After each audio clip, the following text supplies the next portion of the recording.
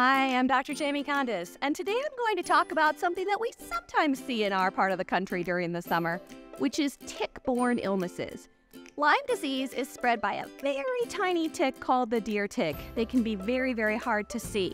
It can take between 3 and 30 days for the first signs of Lyme disease to appear. So you may have been on a vacation a couple weeks earlier and then your child starts to exhibit the symptoms. They usually start out with what we call a bullseye rash. It's a red spot right at the site where the tick bit them, surrounded by another red circle.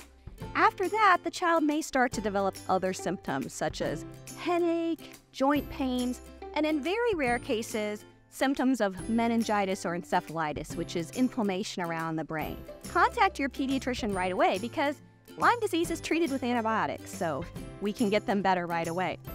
Another tick-borne illness is Rocky Mountain spotted fever, which is spread by the dog tick, several species of dog tick actually.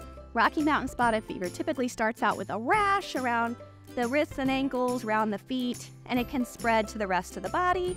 They can also get symptoms such as fever, obviously from the name, um, headache, joint pains, and in rare cases can get very sick and start to have issues with their blood pressure and other more serious symptoms. The third tick-borne illness is called ehrlichiosis, and we do have some of the ticks uh, that spread ehrlichiosis in some parts of Missouri as well as closer parts in the country.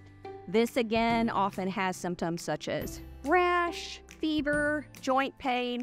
So again, good rule of thumb, if you've been out hiking, camping, someplace outdoors, and you think your child may have been bitten by a tick and they're having any of these unusual symptoms, definitely let your pediatrician know because all of these tick-borne illnesses are treatable with antibiotics.